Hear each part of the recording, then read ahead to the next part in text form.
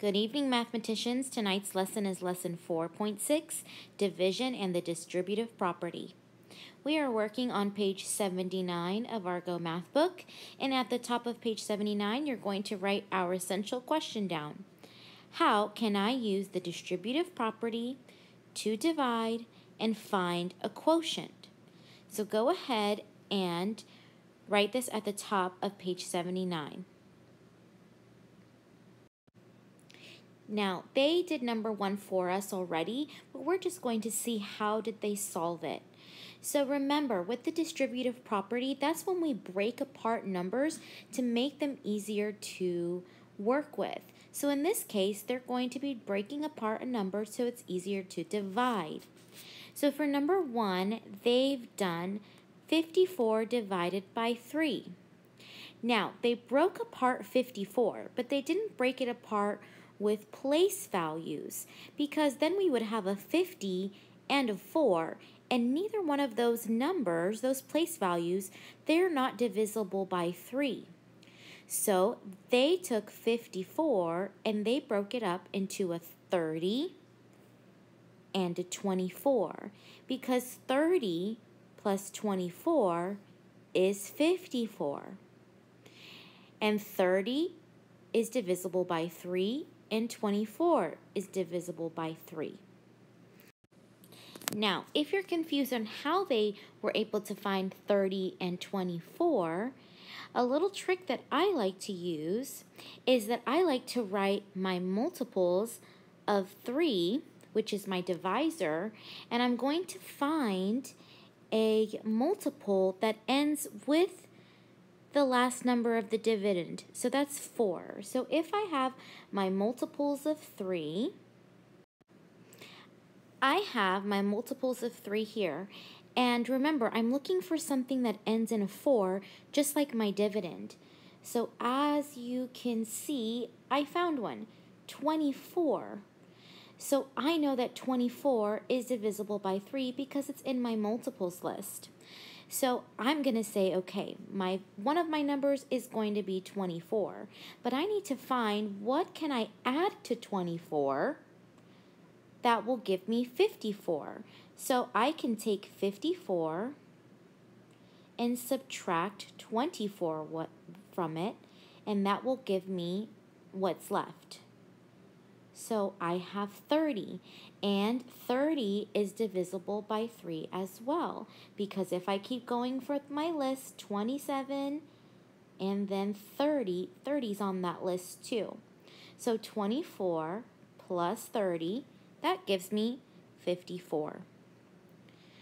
Now, once you've broken up, up the dividend, you have to divide it by the 3. So 30 divided by 3 well, that's 10. And 24 divided by 3, that's 8. These numbers are called partial quotients. They are part of your quotient. When I add them together, 10 plus 8, I will get 18, which is the quotient. Now, I'm going to check my work. And I'm going to check my work using the invert operation or the opposite operation, which would be multiplication. I'm going to take my quotient, which is 18, and my divisor, which is 3, and multiply them. 18 times 3. If I was correct, I should get 54, which is my dividend. 3 times 8 is 24 regroup my 2 and drop down my four ones. 3 times 1 is 3 plus 2 is 5. So I did get my 54. So that means that my quotient of 18 is correct. Let's look at number 2. Number 2, we are dividing 81 divided by 3. We're going to use the distributive property to help us break apart the 81 into numbers that are divisible by 3. Now, I can't break it up into place value because 80 is not divisible by 3, and neither is 1. So I'm going to use my multiples trick to help me. I'm looking at this last number in the dividend, which is 1. I'm going to use my multiples of 3 to help me find a number that ends with a 1 as well. Okay, here's my list of 3's, and I found a 21. 21 ends in a 1 as well, and it's divisible by 3. So I know that one of my numbers is going to be 21. So I'm going to circle it because I need it. Now I need to figure out 21 plus something else gives me 81 because remember they have to add up to 81 which is our dividend. So I'm going to take 81 and I'm going to subtract 21 from it to see what the other number is. 1 minus 1 is 0, and 8 minus 2 is 6. Now, I know that 60 is divisible by 3 because 6 is divisible by 3. So my two numbers that add up to 81 are 60 and 21. Now I need to take my 60 and my 21 and I need to divide it by the divisor, which is 3. So 60 divided by 3 plus 21 divided by 3. So I'm making mini division problems. Using basic facts, I can find 60 divided by 3. Well, 6 divided by 3 is 2. With a 0 gives me 20. Plus 21 divided by 3 that gives me 7. Now I have my partial quotients, and I'm going to add them. 20 plus 7 gives me 27. So that is my quotient. But before I finish, I need to check my work using multiplication. I'm going to take my quotient, which is 27, and multiply it by the divisor, which is 3. 27 times 3. If I'm correct, I should get the dividend, 81. 7 times 3 is 21. And 3 times 2 is 6, plus 2 is 8. So I am correct. My quotient is 27. All right, let's look at number 3. Number 3 says 232 divided by 4. We're going to break up that 232 into compatible numbers so it's easy to divide. Now, I want to look at this 232. And I'm going to see if I can break it up into place values. Now, I know that this 2 is worth 200. And then I have a 32. So I know that 200 plus 32 gives me 232. And 200 is divisible by 4, and 32 is divisible by 4. So I can use both of these numbers to divide them by 4. So I broke it up into place values this time. So now we can take our 200 and divide it by 4 plus our 32 and divide that by 4. Well, 200 divided by 4, well, I know that 20 divided by 4 is 5 and my extra zero on the end in the ones place, plus 32 divided by 4 is 8. These are my partial quotients, 50 and an 8. Well, 50 plus 8 gives me 58.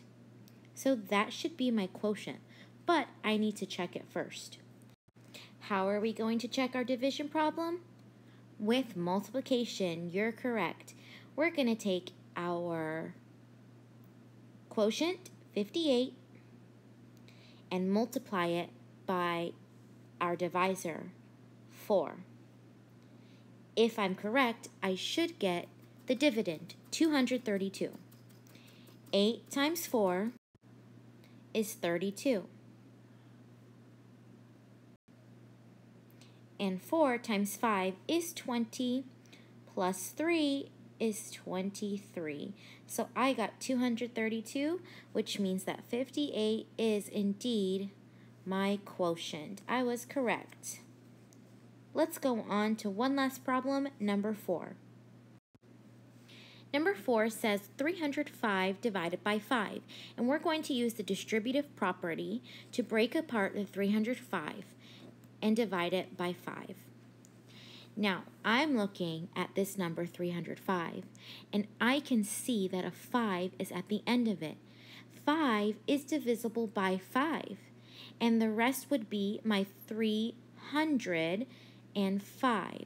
So I'm going to break up this 305 into a 300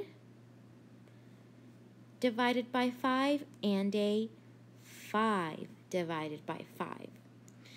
So, math friends, I want you to go ahead and finish the problem.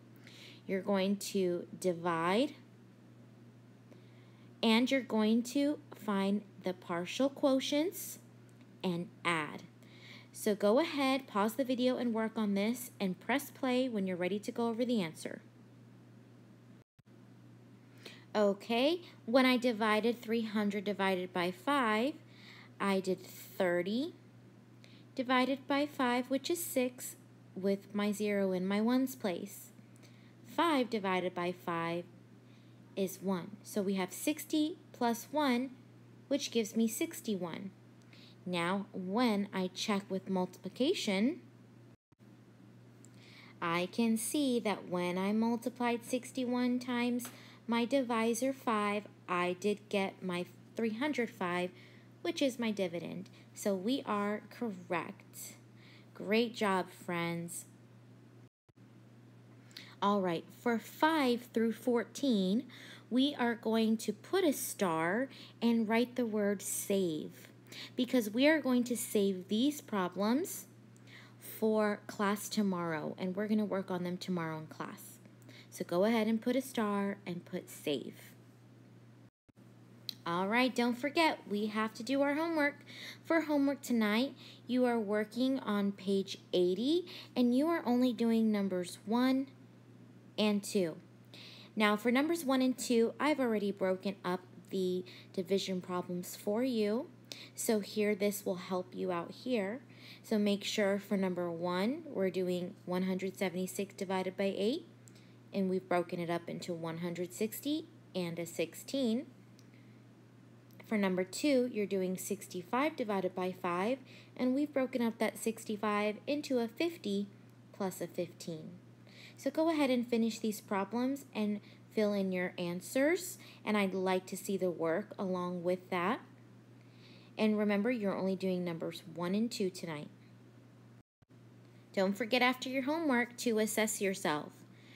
Tell us if you feel like you're a number 1, novice, level 2, apprentice, level 3, practitioner, or a level 4 expert. I hope that you enjoyed the video tonight, and we will see you tomorrow in class. Have a good night. Bye.